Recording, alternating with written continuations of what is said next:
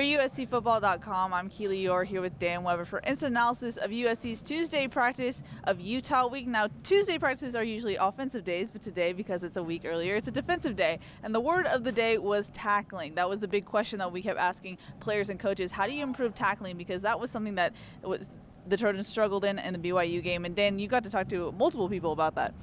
Yeah, they say we uh, we work on those drills every week, and so the question is, oh, are you doing more of them or doing new ones? Or, and they said, no, we're just doing the same drills. And we think uh, our coaches, you know, have a good game plan and, we're going to be able to keep them, you know, keep in our lanes and we'll be able to. And I said, but how do you get them on the ground? How is that?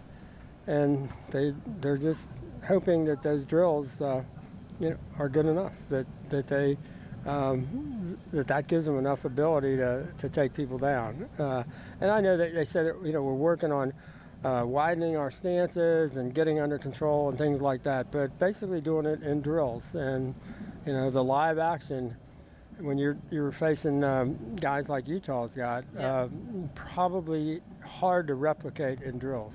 Yeah, and that's what I was going to ask you. If you're not going full speed, full contact in practice, and I know it's a short week, so maybe they don't want to do that, but if you're not doing that, how are you going to be prepared to face elite runners and elite athletes like Zach Moss and, and Tyler Huntley? Really good question. really good question. I, they're obviously, uh, for USC people who remember that USC got 171 yards uh, with their, their entire rushing game and felt pretty good about it. Uh, Zach Moss by himself uh, ran up uh, for 187 yards against, against BYU. So, you know, you know what you're getting. He's really, really, really, really good. I mean, you just can't say it enough. And Huntley is uh, the most athletic two-way quarterback uh, that USC is going to see. So, uh, uh, this is going to be a challenge. earlier in the year, you, would have thought this is a game where you kind of got to outscore them. You just got to get the air raid going. you know, when JT was still here uh, you're thinking they just got to put up a lot of points, score every time, um, and match uh, match Utah. If the, if the defense throws a good game, if they really do uh, figure out how to get Huntley on the ground, how to you know keep um, uh, Zach Moss under control, and tackling is going to be a big part of this, and, and gang tackling uh, with Moss especially. Um, you know, then they've got a chance. But this is a this is a tough matchup for USC's defense. A really tough matchup. Yeah, without a doubt. So in that sense, what's the strategy here? Do you try and go all out to stop both uh, mobile guys, or and for, force them to beat you with their arm, or how, how do you approach this? Sounds pretty good. Yeah, yeah. right there. And I, they say Huntley's uh, you know downfield uh, ability is is much improved. He hasn't had to do that that much. They have one you know one receiver who is just sensational. And they all you know, Olaijah Griffin was saying he, you know, he's the best uh, they've seen, and so it's not an easy uh, fix if you say we're just going to make him beat us with with his arm, yeah. and they haven't defended. Uh, real athletic quarterbacks on the edge. They haven't defended the edge or real athletic quarterbacks. So now you got uh, you know, quarterback and a running back that can uh, attack where you're weakest. So uh, the uh, development of the defense this week is really, really important and probably determine how this game goes. Yeah, without a doubt. And speaking of development, I got to talk to defensive backs coach Greg Burns about the development of the young uh, secondary, those youthful players. And he said, I wouldn't, I don't want to call them young anymore because they have played games, they have some experience under their belt. But he did say that they're going through some growing pains. And you got to talk to Olaijah Griffin about those growing pains and how they're learning from them. Yeah, he said the growing pains are basically making small mistakes. But he said the small mistakes, you know, when you're playing where they, they are, can turn out to be a big mistake. Uh, and he said we just gotta, and we gotta eliminate those uh, those small mistakes. And, and so we're working on it. We're we know what they are. We're doing it. You know, we just have to uh, eliminate them and um, the best we can and and you'll see. I mean, you'll know at game time um, uh, have they been able to eliminate them or not. I think they know um, what they have to do. Uh, do they get the ability in practice in a week like this to do it enough? I think yeah. I think it's the knowing it is one thing, identifying it is one thing, categorizing it is one thing, doing it is another whole different thing. And that ability to do it. I mean, uh, Utah's going to make it uh, make it tough uh, because they're so athletic at the at uh, three key spots. Yeah, and that's what I was going to ask you because basically there wasn't any new re- revelation from talking to the defensive coaches or players today. They all know the task that, that Utah faces or the challenge that they are. But how do you do that if you're on a short week? You had challenges against BYU, and you, it sounds like they're not really fundamentally changing anything in practice. How do you expect a different result come Friday? Well, that's a, yeah, that, it's a great question. Uh, you're hoping that they grow up. You're hoping that from one game to the next, they kind of play themselves. Uh, that that they they get enough out of uh, what happened in the Brigham Young game to be able to carry that over to the Utah game. Uh, whether enough is happening on Monday, Tuesday, Wednesday of this week, for example, on the practice field, I guess is the big question because that you could carry over as well.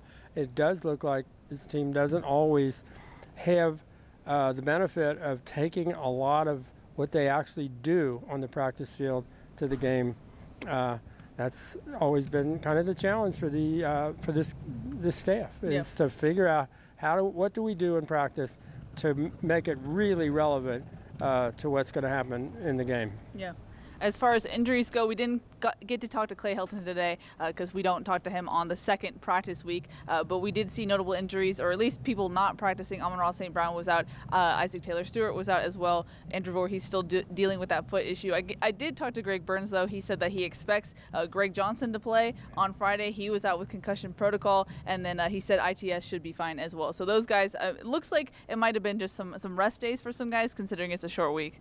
Yeah, and I, I'm always suspicious when you see them with the hoodie and hoodie up and all that, and it's kind of a, a warm day. Uh, that maybe they're just sick. You know, I mean, we're just guessing. I mean, we're totally, totally just guessing. But uh, that always could be a possibility. Yeah. And uh, uh, as far as Amon Ra, I don't, I don't think we got a clue Yeah. as to what's going on there. So we'll find out from Clay tomorrow. But uh, that was a surprise considering he was like the last guy on the field yesterday. I mean, he was on, you know, working on the Jugs machine and all that so late, we didn't even get to talk to him. And then here he is, uh, not able to dress out. Maybe he was sick too. I Yeah. don't know. Yeah. Uh, but, uh, you know, uh, having Isaac Taylor Stewart back is, is pretty important, I think. Uh, you don't want to go into the game. And, and Greg Johnson certainly looked like he was ready. I don't know if it, I couldn't tell. That's a quick comeback from concussion protocol. Yeah. So, uh, but he, he didn't, you know, watching him run by and all that, he did not look like he was hurt. Yeah, yeah. So we'll see about that. So we're, we're kind of just speculating on injuries. So a guy who seems to be good to go is Christian Rector. Uh, he practiced this week, as far as we know. Uh, but Dan, let's go to predictions. What are you predicting this week for Friday? It's a, such an important matchup for USC, not only just because they, they need to win after a BYU loss, but for the Pac-12 South, this pretty much decides it in certain years. Yeah, I mean, this is one of those ones where you're hoping, uh, if you're a USC fan, you're hoping that the jinx continues. I mean, it's only been four games that, uh, in history that Utah has played at the Coliseum. They haven't won a game in LA since uh, I think 1916 was their last time they won in LA. So, if you're a USC fan, you're saying, "Oh man, do something, give me a break," you know, whatever. Uh, I don't know. Maybe they'll they'll uh, look up in the stands and see Reggie Bush, and these these kids were all, you know, in grade school when Reggie was the, you know, the superstar here, and maybe that'll maybe they'll put Reggie's. Uh, some of those action uh, video stuff from, on the on the video board and things like that. that. I don't. We don't know how that's going to work. Well, Are they allowed to do that or not? I don't even know if they are. But uh, I think this would be a, a game where they have to get really emotional, really fired up, uh, still be under control, and they pretty much have to score most of their possessions Yeah. against the Utah defense it's got some real talent up front. Now, if they can get rid of the ball quickly enough, I mean, what I would think you would want to do is try to match them, match them, match them, and at the very end, as has happened the last couple of times here, USC does something right and Utah does something wrong.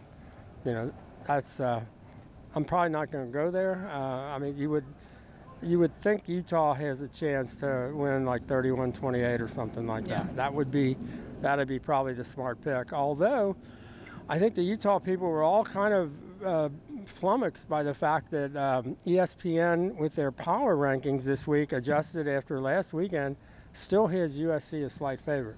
So uh, the Utah people were like, "How? What? What's that?" Uh, Yeah. After the way they handled BYU and the way USC uh, didn't handle BYU, so Yeah.